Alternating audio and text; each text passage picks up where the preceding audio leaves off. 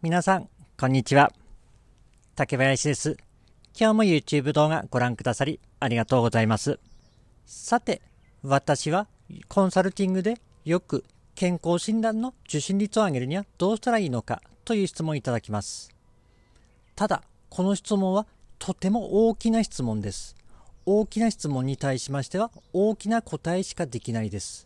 具体的にどこのポイントで誰が離脱しているのか受けないのかというのを特定する必要があります。この離脱しているポイント落とし穴になっている箇所をボトルネックと言います。具体的なお話をしましょう。検診のお知らせを出します。そしてそのチラシを受け取って相手が読む。そこでそもそも読まなければそこがボトルネックになります。読んだとしても1行目で読むのをやめた。そこがまたボトルネックになります。こういうふうにどこの箇所で何パーセントの人が離脱していくのか。それを特定していくことから始めます。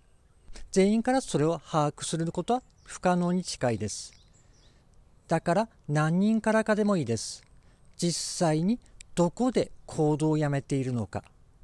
聞いてみることから始めてみます。相手をよく観察すること。それが第一歩になります。今日のお話はここまでいたします。今日も最後まで聞いてくださり本当にありがとうございます。